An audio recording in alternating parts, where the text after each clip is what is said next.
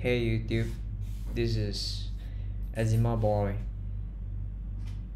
and today I want to share my progress on how I cure my eczema. Hmm, I found something new uh, to cure my eczema, especially my face first. Uh, my body I think overall is a bit rough, but then I do not feel that itchy. I've been controlling my diet. Uh, basically, I still eating lots of club, uh, carb and gluten, but then dairy like milk I try to avoid it, and also some others very sugary stuff. Um, I've been trying this dead sea salt uh, on my face and all my body because I have seborrheic is more to a fungus infection. You see the patches. Is more to seborrheic so seborrheic is overgrowth of fungus. Somehow people call it malassezia I I forgot the name. Is a is some types of fungus. So according to one of the reddits it says that if you mix water with dead sea salt and spray it all over your face and body the conditions will get better over time. I try it. When i first used this dead sea salt i have a burning sensations and according to the internet it is normal so i keep it on. Um like two to three minutes to four minutes then I wash it off. For now it's a bit red and look like inflamed but then I feel okay. Uh it did not itch.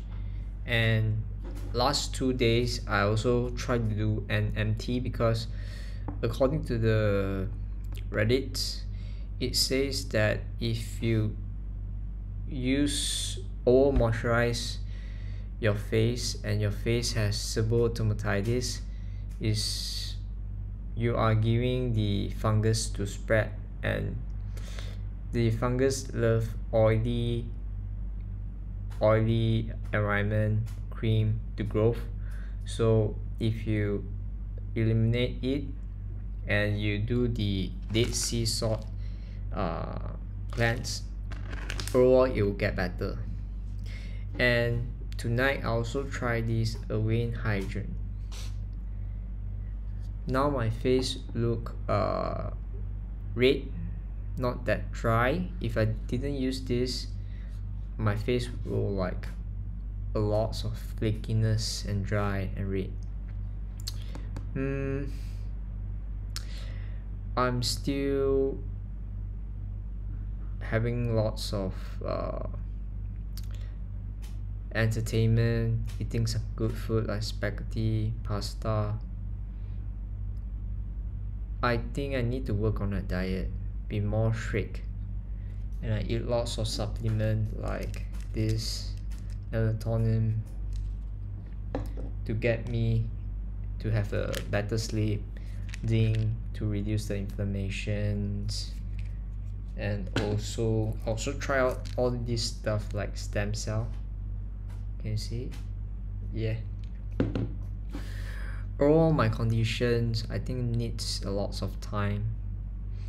But then uh it's better than before because I did not I, I do not itch that much. But then my face is inflamed couldn't go out couldn't have like reunion dinner that much. It's a sad part that is that is a sad part basically. So I'm not sure which like how many day I'm in in this journey on curing eczema. But then I think it's possible.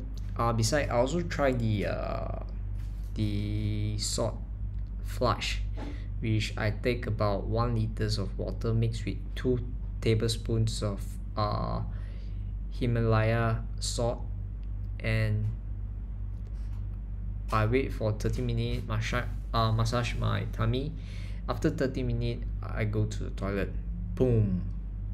Look like uh, it looked disgusting. Lots of poop coming out. I researched about it the salt and all. Many people doing it and it's safe. You can google about salt flush uh whatever water you want. For now I'm plan this is my first day and I plan to do like three time per week. So Monday I did Wednesday and Friday. Then Saturday Sunday is I gonna rest. Then I'm gonna see how how many week I'm gonna do. For now I think the salt flush is pretty good because it trying to clear out all the bad stuff from the uh, GI tract. And I hope that um, I could cure this eczema. I think it's possible if I remain at this pace and fix my diet more strict on the food that I eat I think it's possible. But then I'm not uh, right now I'm trying to shorten the time trying to make it like uh, one month within one month my face will be be like normal. But then I think that is highly impossible. But then I think at least I want to give some hope into it try my best. That's all for today. If you have any comment if you have any experience curing uh, seborrheic dermatitis remember to share your experience in the comment section below. And that's all for today. Thank you